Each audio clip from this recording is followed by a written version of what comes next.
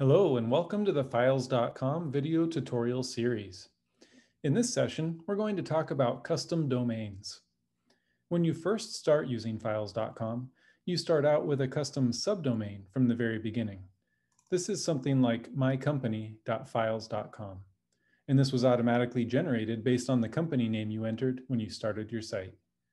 If you have a trial site or an active site, you've already seen this, and you may have already discovered that you can change it through the web interface here in the site identity settings. Your custom subdomain sits in front of our files.com domain, and together these make up the host name that you and your users will use to connect to your site in a web browser or using any of our supported protocols like FTP, SFTP, and WebDAV. But what if you would rather have a host name that contains your own organization's domain? No problem. Files.com makes the process of setting up a custom domain for your site easy. The first step is to choose what your custom domain will be. This can be a subdomain of any domain that you control. We suggest using something like files.yourdomain. For the purposes of this tutorial, we have a fictional hot sauce company that uses the domain nuclearhotsauce.co.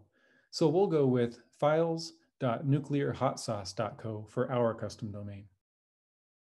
Now that we've chosen what our custom domain will be, the next step is to set up a CNAME DNS record with our DNS provider, pointing our new custom domain to our files.com subdomain. In many cases, your domain's DNS provider is the registrar you purchased your domain from. But if you're not sure who yours is, check with the person who manages your domain, and they should be able to help you with this step. Our fictional hot sauce company purchased its domain from Namecheap, so we'll log in there and head to Advanced DNS for our domain. We'll click Add New Record, choose CNAME for the record type, and we're pointing the host files.nuclearhotsauce.co to our custom subdomain nuclearhotsauce.files.com. We'll save that. And now we've created our CNAME record, but note that it may take some time for this record to propagate.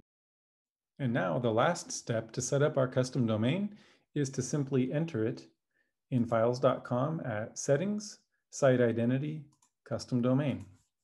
So we'll enter files.nuclearhotsauce.co and hit save. Once we see that our site is accessible using our custom domain, we can take a look at the firewall configuration page in the web interface, here at Integrations, View Firewall Configuration Information. If we scroll all the way to the bottom here, we can see the two dedicated IP addresses for our site. You can provide these to your users who need to whitelist your IP addresses in their firewalls in order to connect. And that is how you set up a custom domain in files.com. Thank you for watching.